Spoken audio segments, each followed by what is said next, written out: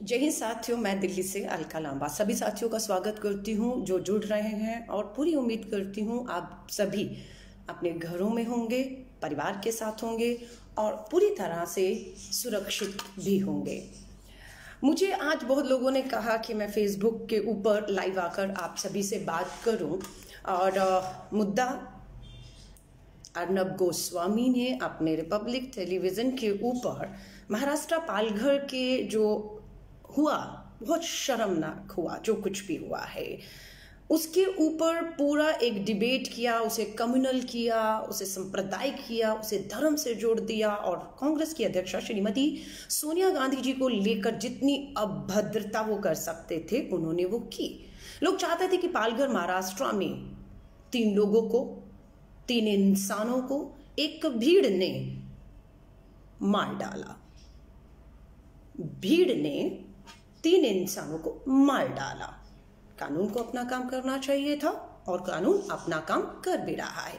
लोग चाहते थे कि जो तीन इंसान मर रहे हैं, उनमें इंसान से ज़्यादा उनका धर्म पहले देखा जाए, उनके कपड़े देखे जाए, और उनका धर्म देखा गया, उनका पहनावा देखा गया, और उन्हें पहचाना गया कि वो हिंदू साधु संत हैं। लेकिन मारने वाले कौन है? इस पर सोचें, उसकी जाँच हो उससे पहले जितने भी लोग थे, वो उसे पूरी तरह सांप्रदायिक रंग देने, हिंदू, मुस्लिम देने शुरू हो गए और अपनी राजनीतिक रोटियाँ सेकना, उन्हें मौका मिल गया था कि इस मौके से हाथ से नहीं जाना देना है। और उन्होंने बिना इसकी जाँच हुए, बिना सच्चाई सामने आए हुए, इस पे ये फसाद फैला दिया कि एक धर्म के लोगों ने भीड़ में शामिल होकर दूसरे धर्म के लोगों को मार डाला है। लेकिन सच्चाई सामने आ चुकी है। 101 लोगों के ऊपर एफआईआर दर्ज हो चुकी है और 101 लोग जिन पे एफआईआर दर्ज हुई है, जिन्हें गिरफ़्तार कर लिया जा चुका है, वो उसी धर्म के हैं, जिस धर्म के ये तीन लोग मार दिए गए हैं। महाराष्ट्र गवर्नमेंट में तुरंत कार्रवाई करते हुए 101 लोगों पर एफआईआर दर्ज किए उन्हें गिरफ़्तार कर लिया और मैं पूरी उम्मीद करती हूँ महाराष्ट्र सरकार बिना समय व्यर्थ किए फास्ट ट्रैक कोर्ट जी हाँ फास्ट ट्रैक कोर्ट में इस मामले को चलाए और तीन महीने से छह महीने के अंदर इन सभी 101 लोग जो उसी सेम धर्म के हैं, भीड़ बनकर मार दिया गया। उनको सख्त से सख्त सजा मिलनी चाहिए।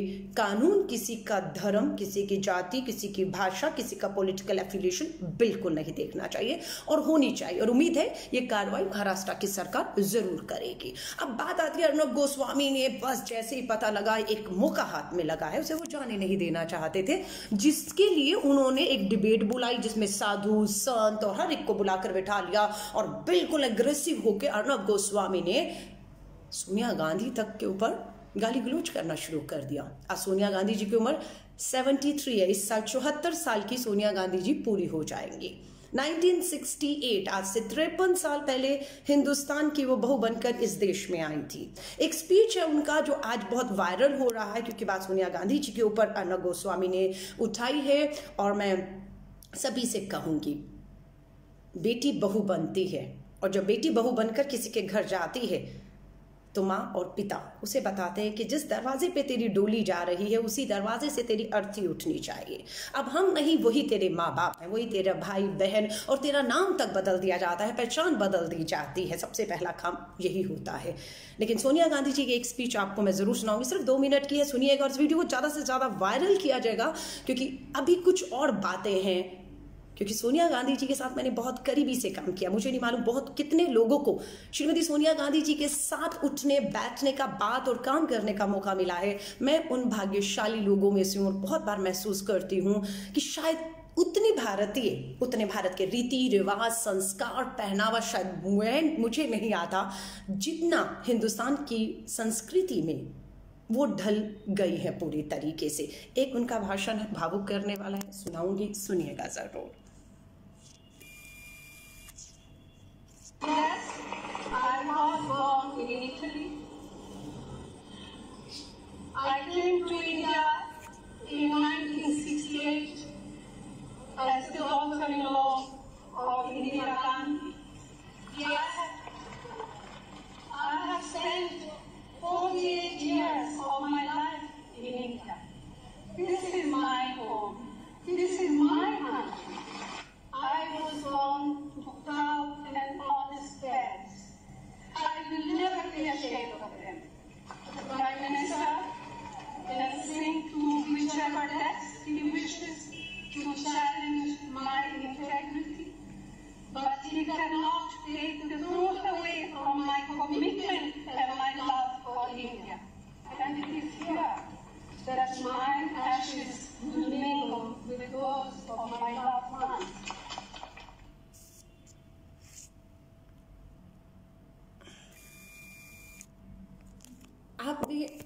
कांग्रेस की राष्ट्रीय अध्यक्षा श्रीमती सोनिया गांधी जी को सुना। क्या कहा उन्होंने? कि मैं इटली से भारत में, भारत की बहू बनकर आई और 48 साल, जब वो भाषण दे रही थी, तब 48 साल हुए थे, अभी तो 53 ईयर्स तिरपन साल 50 साल से ऊपर हो चुके हैं। उन्होंने कहा, मैं इस देश में आई, इस देश की नागरिकता उन्होंने ली और उन्होंने ये कहा, इस देश में से अब मेरी मेरी जो लाइक अंतिम सांस है, वो इसी हिंदुस्तान की धरती पर लेंगी। उन पे जितने भी तरह के आरोप लगाए जा रहे हैं, मैं कहती हूँ, बहादुर महिला हैं, बहुत से बात हम पर हम पर बहुत से बातें की जाती हैं, कीचड़ उछाला जाता है, अभद्र भाषा हम विचलित हो जाते हैं। लगता है सब छोड़कर भाग जाएँ। पर बहादुर महिला है श्रीमती सोनिया गांधी जी। मैं आपको याद दिलाती हूँ, एक बार नहीं, बहुत बार उनके सामने चुनौतियाँ आई। 1968 में जब वो भारत की बहू बनकर हिंदुस्तान में आई थी, शादी को भी तेईस वर्ष भी नहीं हुए थे। जी हाँ तेईस साल भी नहीं हुए थे। 1991 में श्री राजीव गांधी जी इस देश के लिए शहीद हो गए। उससे पहले 1984 में एक बहू के तौर पर सोनिया गांधी जी, इंदिरा गांधी जी के साथ ही रह रही थी और उनकी पूरी देखभाल कर रही थी। जब भी राजीव जी बाहर जाते थे तो अधिकतर सोनिया गांधी जी, इंदिरा गांधी जी के साथ रहती थी और 1984 में जब इंदिरा गांधी जी के ऊपर हमला हुआ, जिसमें उनकी जान भी चली गई, तब उनके साथ कोई था तो श्रीमती सोनिया गांधी जी थी। उन्हें अपनी गोद में लिया, अस्पताल की तरफ़ दौड़ी और वहाँ इंदिरा जी ने अंतिम सांस ली। डर गई थी सोनिया गांधी जी, इसमें कोई दो राय नहीं है। बहुत बातें होने लगी 1984 में, और सबसे ज़्यादा संघ भाजपा के लोगों में एक उत्साह इस तरीके का था कि शायद अब, क्योंकि राजीव जी का राजनीति में इंटरेस्ट नहीं था बिल्कुल भी, और सोनिया जी कभी नहीं चाहती थी कि राजीव जी हिंदुस्तान की राजनीति में कदम रखे खासतौर से 1984 इंदिरा जी के एसेसिनेशन हत्या के बाद। भाजपा में जश्न होना स्वाभाविक था, उनको लग रहा था कि उनकी राह का कांटा निकल गया है। लेकिन 1984 में इंदिरा जी के बाद राजीव जी को मनाया गया। सोनिया जी के मना करने के बावजूद, क्योंकि उन्हें चिंता थी, उनके सामने उनके इंदिरा जी ने प्राण त्यागे थे और राजीव जी की भी जान को खतरा था, उनके परिवार को खतरा था, उन्हें ऐसा लगने लगा था। लेकिन पूरी कांग्रेस ने एकजुट होकर राजीव गांधी जी को प्रधानमंत्री की शब्द दिलाई और वो 1984 इंदिरा जी के बाद देश के प्रधानमंत्री बने। लेकिन सोनिया जी ने साथ नहीं छोड़ा। पूरी अफवाहें फैला दी गई 1984 के बाद कि अब राजीव जी का राजनीति में इंटरेस्ट नहीं है, सोनिया गांधी जी उन्हें राजनीति में आने नहीं देना चाहती। अब राहुल जी की उम्र 14 साल थी और प्रियंका गांधी की उस समय उम्र 12 साल थी। अब देश छोड़कर, देश का सारा खजाना देश को लूट कर भाग जाएँगे। ये उस समय जो है अफवाहें फैलाई जाती थी संघ और भाजपा के द्वारा कि बदनाम किया जाए, नहीं भागने वाले हैं। लेकिन वो भागे नहीं।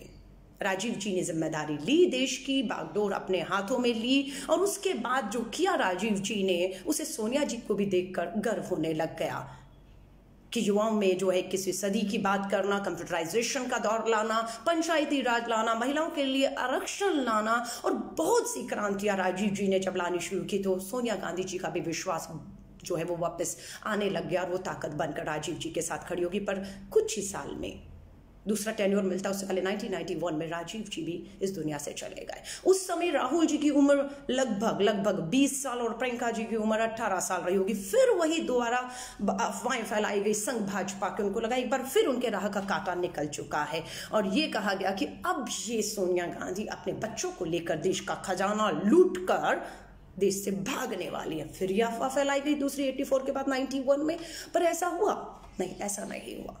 ये सच्चाई है कि सोनिया गांधी जी ने इंदिरा जी और एकदम राजीव जी कुछ ही सात आठ साल के बीच में दो बड़े हादसे हुए, दो बड़ी शहादतें हुई और जिससे वो स्वाभाविक है, एक माँ थी, एक माँ थी, अकेली रह गई थी, एक डरना स्वाभाविक था हिंदुस्तान की राजनीति किस तरीक तरफ़ जा रही थी, उन्होंने अपने आप को हिंदुस्तान की राजनीति कांग्रेस से पूरी तरह से 1991 के बाद काट लिया और पूरी तरह अपनी घर गृहस्थी और भाजपाई पूरे सात, आठ साल तक संघ के लोग अफवाह फैलाते रहे कि ये भागेंगी, जाएँगी जाएँगी, पर ऐसा हुआ नहीं। मुझे याद है nineteen Congress plenary session Calcutta में हुआ था। मैं उस समय लगभग 21 वर्ष की थी पर NSUI national student union of India Congress के छात्र संगठन की राष्ट्रीय अध्यक्ष थी और मैं भी कांग्रेस के उस प्लेनरी सेशन कलकत्ता के मंच पर थी, जहाँ पर श्रीमती सोनिया गांधी जी को पूरी कांग्रेस ने आह्वान कर कर आने के लिए आमंत्रित किया था। और श्रीमती सोनिया गांधी जी 1997 में कांग्रेस के मंच पर आई। वहाँ उन्होंने पहली बार 1991 के बाद 97 में पहली बार वो पब्लिक में आई और उन्होंने वहाँ पर कांग्रेस की प्राथमिक सदस्यता ग्रहण किया। 1998 मैं उस समय भी कांग्रेस के छात्र संगठन की एनएसयूआई की राष्ट्रीय अध्यक्ष थी। वो जो दौर था कि कांग्रेस बिल्कुल नीचे की तरफ़ जा रही थी, संगठन का कुछ पता नहीं था, देश की सरकारों में पता नहीं कितने प्रधानमंत्री जो है, वो एक के बाद एक बदल रहे थे, अस्थिरता का दौर था। और उस समय श्रीमती सोनिया गांधी जी से 1998 में कांग्रेस की कमान संभालने के लिए कहा गया, क्योंकि देश के लिए कांग्रेस का एक रहना, कांग्रेस का मज़बूत रहना बहुत ज़रूरी था और कांग्रेस को एक रखने का काम, मज़बूत करने का काम और आगे ले जाने का काम अगर कोई कर सकता था तो वो श्रीमती सोनिया गांधी जी, ये कांग्रेस कांग्रेस की एक विश्वास था। मैं उस दौर में एनओसी राष्ट्रीय अध्यक्ष थी, इसलिए बहुत करीबी से उस सारे घटनाक्रम को मैं देख रही थी। और सोनिया गांधी जी ने उस समय उस समय मान लिया, तैयार हो गई कि मैं कांग्रेस की ज़िम्मेदारी लेने को तैयार हूँ, बट चुनाव के माध्यम से। लोगों ने कहा, चुनाव की ज़रूरत नहीं है। आप बस कांग्रेस के अध्यक्ष पद ले लीजिए। लेकिन उन्होंने चुनाव के माध्यम से कांग्रेस का पहली बार 1999 के अंदर कांग्रेस की 1998 में कांग्रेस के अध्यक्ष बनने का फैसला किया और चुनाव हुआ। कांग्रेस के भीतर चुनाव हुआ और जतिन प्रसाद उत्तर प्रदेश के बहुत कद्दावर नेता थे कांग्रेस के, उन्होंने कांग्रेस की अध्यक्षा सोनिया गांधी जी के सामने नामांकन दाखिल किया। चुनाव हुआ कांग्रेस के अंदर और सो, श्रीमती सोनिया गांधी जी कांग्रेस की अध्यक्ष चुनकर आई। लेकिन जतिन प्रसाद जी का क्या हुआ? सोनिया गांधी जी की एक खुली सोच का ही नतीजा था कि उन्होंने कहा, जतिन प्रसाद जी, आपके पास एक लंबा अनुभव है कांग्रेस की, आपने सेवा की है, मैं चाहती हूँ कि आप उनकी, मेरी टीम में रहेंगे सोनिया गांधी जी ने कहा। और जतिन प्रसाद जी ने इसे माना और कांग्रेस की अध्यक्ष श्रीमती सोनिया गांधी जी बनी और जतिन, जतेंद्र प्रसाद जी, जतेंद्र प्रसाद जी उस समय वाइस प्रेसिडेंट कांग्रेस के चुने गए। 99 का चुनाव आ गया, अब श्रीमती सोनिया गांधी जी के पास था कि आपको चुन कांग्रेस का तो अध्यक्ष का चुनाव आपने लड़ा चुन कर आई आपको, लोगों ने मत वोट दिया, जिताया। अब आपको देश का भी चुनाव लड़ना चाहिए। चाहे तो अपर हाउस में वो रह सकती थी राज्यसभा से, लेकिन नहीं, उन्होंने चुनाव लड़ना चुना और अमेठी से 1991 का पहला चुनाव लड़ने के लिए गए। तब क्या हुआ? क्या रास्ता आसान था सोनिया गांधी जी के लिए? नहीं, बिल्कुल आसान नहीं था। 1991 में जब उन्होंने पहला 1999 में जब पहला चुनाव अमेठी से नामांकन दाखिल किया तो दूसरा नामांकन उन्होंने कर्नाटका के बल्लेरी से भी फ़ाइल किया। ये पहला चुनाव था श्रीमती सोनिया गांधी जी का। फिर संघ और भाजपा को लगा 84 में लगा था, काटा निकल गया, नहीं निकला। 1991 में उनको लगा कि राजीव जी के जाने के बाद काटा निकल गया, लेकिन काटा नहीं निकल रहा था। अब सोनिया गांधी जी आ गई हैं। जो पूरी कांग्रेस को एक रखते हुए चुनाव के मैदान में खड़ी थी, श्रीमती सोनिया गांधी, जो उस समय मैं याद करती हूँ, स्वर्गीय, आदरणीय श्रीमती सुषमा स्वराज जी को। भाजपा और संघ ने सोनिया गांधी जी के सामने खड़ा करने के लिए अपनी सबसे कद्दावर नेता, श्रीमती स्वर्गीय सुषमा स्वराज जी को चुना। सुषमा स्वराज जी को लगा अमेठी तो शायद संभव नहीं हो पाएगा, क्योंकि कांग्रेस का एक गढ़ रहा है, लेकिन बेल्लेरी से कर्नाटका से उन्होंने श्रीमती सोनिया गांधी जी के सामने चुनाव लड़ने की चुनौती को स्वीकार कर लिया। और इस बात को उन्होंने कहा, अगर गूगल करेंगे कि अगर वो चुनाव हार जाती हैं, अगर सोनिया गांधी जी चुनाव जीतती हैं और प्रधानमंत्री बन जाती हैं, उन्हें ऐसा लग रहा था तो वो अपना सर मंड, मंडवा देंगी और वो ज़मीन पर सोएँगी। बहुत बड़ी घोषणा उन्होंने की थी कि अगर वो चुनाव हारी तो वो अपना सर सुषमा स्वराज जी ने कहा, सर मंडवा देंगी और ज़मीन पर सोएँगी। और नतीजा क्या आया? श्रीमती सोनिया गांधी जी 1999 का अमेठी और बल्लेरी कर्नाटका का चुनाव भारी बहुमत से जीत गई और सुषमा स्वराज जी भाजपा संघ की पूरी हार वहाँ पर हुई, ये चुनौतियाँ थी। कांग्रेस के अंदर भी उनको चुनौती आई थी जब 1999 में चुनाव जीत कर आई 1998 में अध्यक्ष बने तब शरद पवार जी और हमारी सांगमा जी तो रहे नहीं अब दुनिया में, तारिक अनवर जी, इन लोगों ने काफ़ी विरोध किया था। उन्हें लगता था सोनिया जी अध्यक्ष बन गई हैं तो सोनिया जी प्रधानमंत्री की भी दावेदारी करेंगी। इसीलिए उन्होंने उसका विरोध किया और विरोध के चलते, क्योंकि सोनिया जी चुन कर आई थी, अध्यक्ष बनी थी। देश का चुनाव जीता था नाइनटीन का उन्होंने दो जगहों से। उसके बाद पार्टी के अंदर अनुशासन संहीनता के तौर पर इसे देखते हुए तीनों नेताओं को पार्टी से बाहर कर दिया गया। और उसके बाद सिलसिला आगे बढ़ा। 99 की आपको मैंने बात बताई कि किस तरह से वो हरा कर आई और नेता विपक्ष के तौर पर 1999 के चुनाव के बाद नेता विपक्ष के तौर पर श्रीमती सोनिया गांधी जी ने संसद के अंदर ज़िम्मेदारी संभाली और 1994 1999 के बाद अटल बिहारी वाजपेयी जी की सरकार बनी। और अटल बिहारी वाजपेयी जी का जो सोनिया गांधी जी के साथ जो संस्कारों की बात करते हैं, हिंदू रीति रिवाजों की बात करते हैं, बहू और बेटियों की बात करते हैं। अटल बिहारी वाजपेयी जी की बहुत तस्वीरें आपको सोनिया गांधी जी के साथ दिखेंगी कि कितना सम्मान करते थे वो एक एक महिला का, एक नेता के तौर पर। और कभी उन्होंने उनके व्यक्तिगत जीवन पर जो है उंगली शायद कभी उठाई हो अगर आप तस्वीरें देखेंगे एल के अडवाणी जी हूँ, आपके अटल बिहारी वाजपेयी जी की सोनिया जी के साथ एक सम्मान था। लेकिन आज आज जितना स्तर नीचे गिर सकता है उसे गिराने की कोशिश की जा रही है। बदनाम करिए, क्योंकि कांटा एक ही दिख रहा है। तस्वीरें हैं मेरे पास, सोनिया जी की ये किताब है, जिसमें अटल बिहारी वाजपेयी जी और अडवाणी जी और बड़े नेताओं के साथ सोनिया जी के कैसे संबंध रहे, जब वो नेता विपक्ष थी और अटल बिहारी वाजपेयी जी देश के प्रधानमंत्री थे, कितना सम्मान था उनमें 1999 के बाद जो है, अगला चुनाव 2004 का आया। सोनिया गांधी जी की अध्यक्षता में चुनाव लड़ा गया, लड़ा ही नहीं गया। जीता गया। अटल बिहारी वाजपेयी जी की सरकार हार गई और 2004 में कांग्रेस सबसे बड़ी पार्टी बनकर उभरी। अब यहाँ पर देखना था कि कांग्रेस के अंदर से आवाज़ उठी कि श्रीमती सोनिया गांधी जी को प्रधानमंत्री बनना चाहिए। ये 2004 की बात कर रही जो भाजपा हार गिर कांग्रेस ने वापसी की थी। अब फैसला सोनिया गांधी जी को करना था। पूरी कांग्रेस चाहती थी कि सोनिया गांधी जी के नेतृत्व में चुनाव लड़ा गया है और ये वापसी उनकी वजह से संभव हुई है। सात साल, आठ साल के बाद वो वापसी हुई थी। पीवी नरसिम्हा राव जी की सरकार के बाद तो सोनिया जी को पदभार संभालना चाहिए, पर सोनिया गांधी जी ने भावुक एक भाषण दिया और सबकी बात को सुना और फैसला लिया कि नहीं, मैं प्रधानमंत्री नहीं बनूँगी।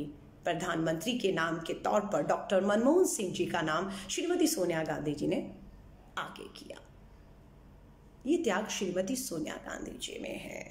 ये बलिदान इंदिरा जी और राजीव के बाद, राजीव जी के बाद हिंदुस्तान की ज़मीन से जुड़े रहना और इस तरह के भाषण जो आपको मैंने शुरू में समझाए, सुनाए हैं कि उन्होंने कहा है, मुझे गर्व है अपने माता पिता के ऊपर, जिन्होंने मुझे जन्म दिया। 1968 में मैं वहाँ से भारत बहू बनकर आई और आज मैं अपनी पूरी ज़िंदगी पचास तिरपन साल मैंने दिए हैं और अब मेरी यहीं पर जो है मैं चाहती हूँ वो अंतिम सांस ले तिहत्तर साल की हो चुकी हैं।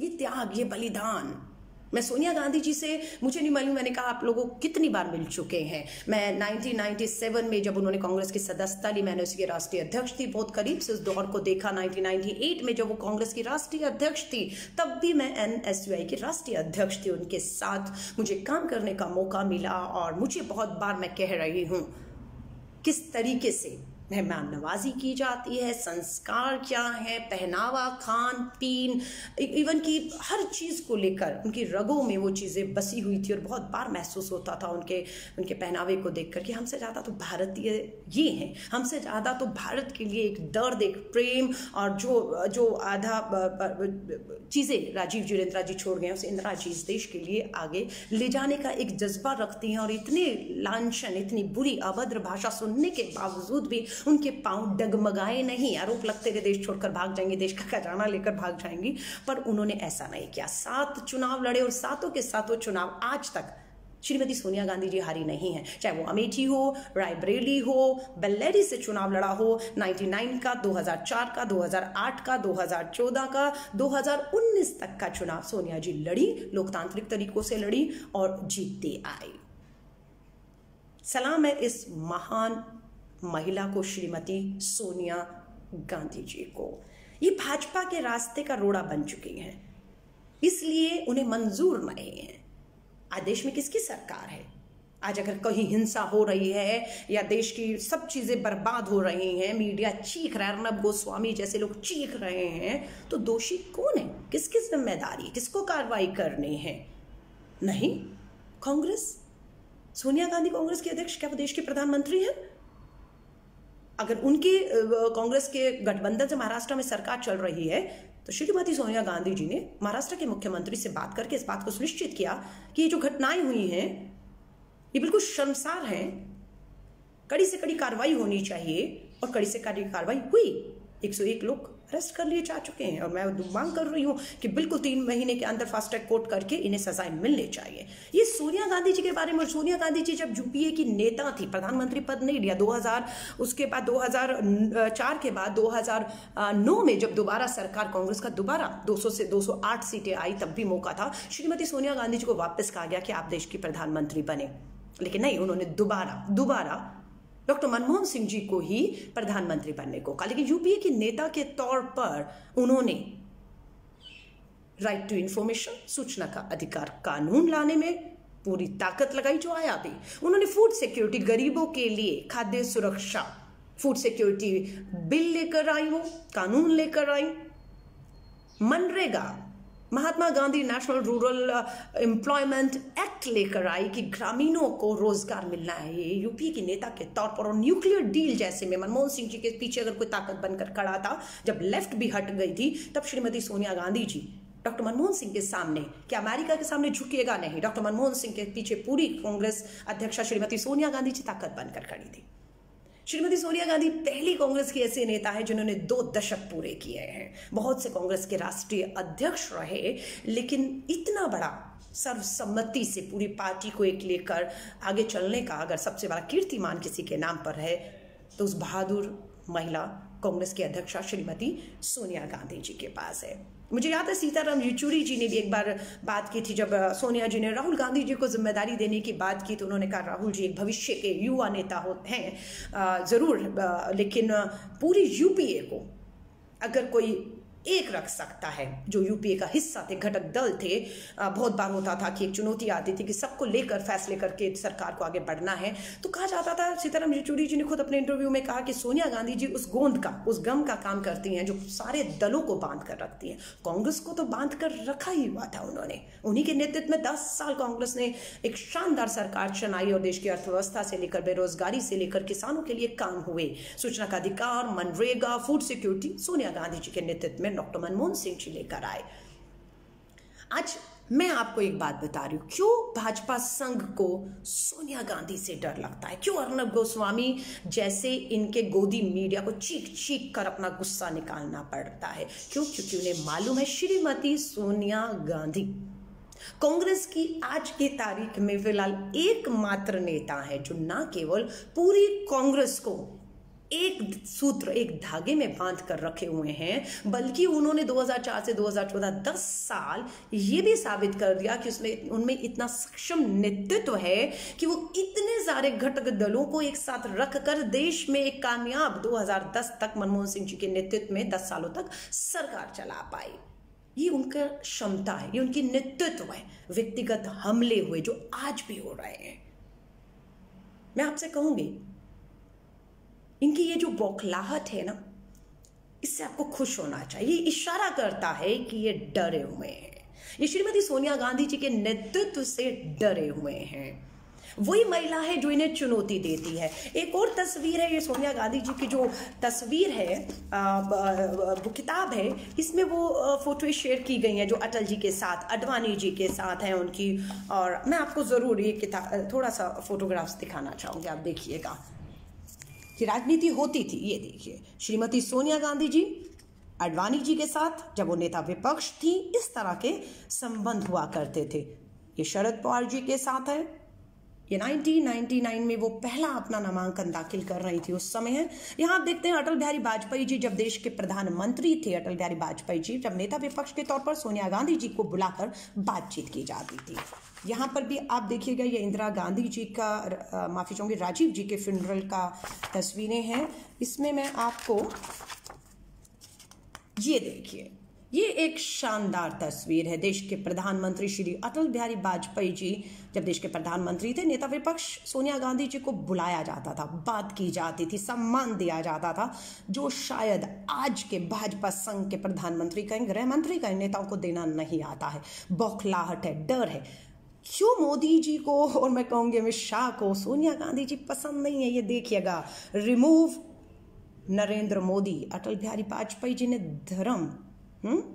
राज धर्म यूँ ही नहीं समझाया था ये 2002 का। पार्लियामेंट में धरने पर श्रीमती सोनिया गांधी जी बैठी थी और अटल बिहारी वाजपेयी जी ने उसके बाद श्री नरेंद्र मोदी जी को उनका राजधर्म समझाने की कोशिश की थी।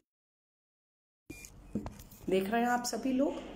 सो मैं आप सभी से कहूँगी, सोनिया गांधी जी, गांधी परिवार का त्याग और बलिदान, उनका साहसिक नेतृत्व, उनका अडिग रहना, ये कहीं ना कहीं कांग्रेस और भाजपा और संघ को, संघ के नेताओं को, गोदी मीडिया को बार बार विचलित करता है। और मैं इससे एक शुभ संकेत के तौर पर देख रही हूँ। कांग्रेस का त्याग, कांग्रेस का बलिदान और गांधी परिवार ही एक ऐसा सूत्र, एक ऐसा धागा है जो कांग्रेस को एक रखते हुए देश के घटक दलों को, जो कांग्रेस की, गांधी की विचारधारा पर यकीन करते हैं, उनको एक रखते हुए, देश को एक रखते हुए तरक्की और उन्नति पर आगे ले जा सकता है और आज की सरकार को चुनौती दे सकता है, जो मात्र धर्म के नाम पर नफरत, जहर पूरा जो है बर्बाद करके सिर्फ़ अपनी सत्ता की रोटियाँ सेकना चाहता है। तो मैं आप सभी से कहूँगी 2000 के करीब लोगों ने कम से कम, मुझे मालूम नहीं कितनी देर से मैं बोल रही हूँ, आप लगातार मुझे सुन रहे हैं और उम्मीद करती हूँ आप कांग्रेस के वो सिपाही हैं, जिन्होंने कांग्रेस का साथ और उसकी विचारधारा को कभी नहीं छोड़ा है। इस कांग्रेस का गांधी परिवार हो कांग्रेस की विचारधारा, कांग्रेस का साथ हो, मत छोड़िएगा, क्योंकि देश का भविष्य अगर किसी के भी हाथ में सुरक्षित है तो हाथ कांग्रेस का हाथ है। और गांधी परिवार से इनका यू डरना, कभी प्रियंका गांधी जी पर हमला, कभी राहुल गांधी जी पर हमला, कभी सोनिया गांधी जी पर हमला, ये इनकी मात्र बौखलाहट का नतीजा है, क्योंकि वो इन्हीं से डरते हैं। क्योंकि यही वो गांधी परिवार और लोग हैं, गांधी परिवार के, जो पूरी कांग्रेस को एक सूत्र में बाँध कर लगातार इस देश की लड़ाई को चाहे गरीब की हो, किसान की हो, बेरोजगारी की हो, अर्थव्यवस्था की हो, उसे लेकर आगे बढ़ रहे हैं। तो मैं आपसे कहूँगी, अर्नब गोस्वामी, अरेस्ट अर्नब गोस्वामी का हैश ट्रेंड ट्विटर पे चलाया जा रहा है और मैं बिल्कुल कहूँगी, ऐसे लोगों की दुकानें जो हैं रिपब्लिक टीवी अर्नब गोस्वामी जो जहर, नफरत और देश को इस तरीके से जो है नफरत में छोक रहे हैं। इनकी दुकानें बंद होनी चाहिए, इनके लाइसेंस रद्द होने चाहिए, इनके ऊपर कार्रवाई करते हुए इन्हें अरेस्ट करना चाहिए। ये किसी किसी व्यक्ति का नुकसान नहीं कर रहे। इन्होंने जो सोनिया गांधी जी पर अर्नब गोस्वामी जी ने कहा है अर्नब गोस्वामी ने कहा है, माफ़ी चाहूँगी, जी निकल गया क्योंकि वही संस्कार कभी कभी छलक जाते हैं। सो, फिर वो कह रही हूँ। ये व्यक्ति की बात नहीं, ये देश की बात है। देश को एक रखने की बात है। आज हम कोरोना वायरस से लड़ रहे हैं, लेकिन उस कोरोना वायरस पीछे छूट गया, ऐसा लग रहा है। उस लड़ाई में टेस्टिंग का पता ही नहीं हो रही है, नहीं हो रही है।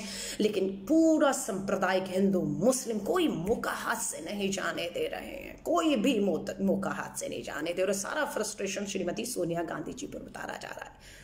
मुझे गर्व है कि आ, मुझे याद है 2007 में 1997 में तो जब वो प्राथमिक सदस्यता सोनिया गांधी जी ने ली थी 98 में कांग्रेस की अध्यक्ष पहली बार वो बनकर आई थी तब मैं एनएसयू की राष्ट्रीय अध्यक्ष थी इसलिए बहुत बार किस्मत वाली हूँ कि सोनिया गांधी जी के साथ काम करने का उनके साथ बात करने का मिलने का मुझे बहुत बार मौका मिला और 2007 में मुझे याद है जब सोनिया गांधी जी ने अपनी ऑल इंडिया कांग्रेस कमेटी की टीम का गठन किया था उस समय उस समय 2007 की कांग्रेस कमेटी का जब गठन किया और राहुल गांधी जी पहली बार सक्रिय राजनीति में कांग्रेस के महासचिव बनकर आए थे तो प्रेस कॉन्फ्रेंस में मैं भी बैठी थी और यकीन नहीं कर रही थी कि कांग्रेस की अध्यक्षा श्रीमती सोनिया गांधी जी ने ऑल इंडिया कांग्रेस कमेटी का ऐलान करते हुए मुझे उसमें जगह दी और 2007 में दिल्ली से मैं अकेली महिला कांग्रेस की, ऑल इंडिया कांग्रेस कम्युनिटी की राष्ट्रीय सचिव के तौर पर सोनिया जी के टीम में उनके साथ काम करने का मुझे मौका मिला। और 2000 लगभग 11 तक लगातार मैंने श्रीमती सोनिया गांधी जी के साथ उनकी टीम में राष्ट्रीय सचिव कांग्रेस के तौर पर काम किया। उनकी सोच, उनकी विचारधारा, उनको उनको संघर्ष करते और उनसे बहुत बार निराश होते थे, हताश होते थे, राजनीति छोड़ने को करता था तो उनकी तरफ़ देखते थे। कि उन्होंने जितना सुना है, झेला है, सहा है और इतना कुछ उनके सामने हो गया, फिर भी वो डटी रही। छोड़ा नहीं उन्होंने। और हम फिर एक बार हिम्मत मिलती थी और आगे बढ़ जाते थे। तो मैं उन भाग्यशाली में से हूँ जो सोनिया गांधी जी को बहुत करीबी से जानते हैं और उनके लास्ट सब शब्द हमारे कानों में रहेंगे कि इस देश की मैं बहु बनकर आई हूँ जिस दरवाजे से हिंदुस्तान की संस्कृति, रीति रिवाज, धर्म कहता है कि इस दरवाजे में डोली आई है अर्थी भी वही सूटेगी और सोनिया गांधी जी ने कहा कि मेरी अंतिम सांस आज चौहत्तर साल की हैं, तिरपन साल उनको हिंदुस्तान में आए हुए हो गए हैं। संघ उन्हें कभी नहीं अपनाएगा, हमें परवाह भी नहीं है। संघ कितना महिला विरोधी है। ये जब बाबा साहब अंबेडकर हिंदू एक्ट लेकर आए थे पार्लियामेंट में शुरू में कि महिलाओं को उनका संपत्ति में अधिकार मिलना चाहिए, महिलाओं को भी तलाक देने का अधिकार होना चाहिए। पुरुष बहुत शादियाँ कर सकते हैं, ये उस समय था, उसको हटाने की बात कर रहे थे तो संघ को सबसे ज़्यादा मिर्ची लगी थी कि नहीं, आप सनातन धर्म और हिंदू का ये एक्ट लाकर आप हिंदू विरोधी हैं। नहीं नहीं, वो हिंदू विरोधी नहीं थे, वो महिलाओं के लिए थे। पंडित नेहरू और अंबेडकर, लेकिन महिला विरोधी कोई था तो ये संघ था। इन्हें मंजूर नहीं था कि महिलाओं को संपत्ति में अधिकार मिले, महिलाओं को भी तलाक देने का अधिकार मिले, या महिलाएँ जो है, विधवा भी अगर हो जाएगी तो उसे दूसरी शादी का अधिकार ये लोग नहीं देना चाहते थे, यानी कि वो ज़िंदगी भर इसी तरह मर जाए। तो ये संघ की सोच वहाँ से यहाँ तक आई, इसलिए कोई हैरान होने की किसी को कोई ज़रूरत नहीं है। और मैं एक बार फिर से श्रीमती सोनिया गांधी जी के जज्बे को सलाम करती हूँ और कांग्रेस के एक एक कार्यकर्ता को कहूँगी, डटे रहिए, खड़े रहिए श्रीमती सोनिया गांधी जी के साथ, क्योंकि वही एकमात्र ऐसी नेता हैं जो कांग्रेस पार्टी को एक रखते हुए, समान विचारधारा की पार्टियों को एक रखते हुए, इस देश को एक रखते हुए आगे बुलंदियों पर ले जा सकती हैं। चौहत्तर साल की है, मैं उनकी लंबी और स्वस्थ आयु के लिए कामना करती हूँ कि वो बिल्कुल इसी तरह स्वस्थ रहें, कांग्रेस का नेतृत्व उनके हाथों में रहे और वो इसी तरह हमें मार्गदर्शन देती रहे ताकि हम देश की समस्याओं से लड़ते हुए इस देश को एक रखते हुए आगे ले सके। मैं सभी साथियों से निवेदन करूँगी, खासतौर से कांग्रेस के समर्पित सिपाहियों से, अपने साथियों से, कि इस वीडियो को ज़्यादा से ज़्यादा शेयर करिएगा, क्योंकि लोग आज बहुत डिमोरलाइज हैं कि क्यों अर्नब गोस्वामी ने श्रीमती सोनिया गांधी जी को लेकर या पालघर महाराष्ट्र में सांप्रदायिकता फैलाई, उसे अरेस्ट करना चाहिए। नकारात्मक को छोड़िए और अपनी सकारात्मकता, अपनी पॉजिटिविटी को आगे लाइए। बहुत अच्छाइयाँ हैं कांग्रेस में। कांग्रेस के पास एक बहुत बड़ा अनुभव है। यूँ ही अटल बिहारी वाजपेयी जी अडवाणी जी, श्रीमती सोनिया गांधी जी को नेता विपक्ष के तौर पर बुला बुला कर उनसे राय नहीं लिया करते थे, इसलिए लिया करते थे कि उन्हें मालूम था कि सबसे लंबा समय अगर किसी ने इस देश को चलाया है, इस देश को चलाने का अनुभव है, विपरीत परिस्थितियों से लड़ने की अगर किसी के पास क्षमता, ताकत है, वो कांग्रेस के पास है, इसलिए अटल बिहारी वाजपेयी जी भी प्रधानमंत्री होते हुए श्रीमती सोनिया गांधी जी को नेताओं को लगातार बुलाकर राय मशुरा करते रहते थे। तो वो अनुभव है कांग्रेस पर। आज की सरकार को डर लगता है बात करने से। उन्हें डर लगता है बात करने से कि उनकी सत्ता हाथ से ना चली जाए। समझ रहे हैं? मेरी शुभकामनाएँ आप सभी के साथ हैं। जाते जाते एक बार वीडियो शेयर ज़रूर करिएगा। हर कांग्रेस के कार्यकर्ता तक ये पूरी सोनिया जी के त्याग और बलिदान की कहानी पहुँचना बेहद ज़रूरी है ताकि हम एक रहें, हम विचलित ना हो और लास्ट घरों में रहिए। परिवार के साथ रहिए और सुरक्षित रहिए। मेरी शुभकामनाएँ है। कोशिश करूँगी आपसे दोबारा जुड़ूँगी। डेढ़ हज़ार लोग अभी तक जुड़े हुए हैं। आप सभी का तहे दिल से धन्यवाद। जय हिंद। जय भारत।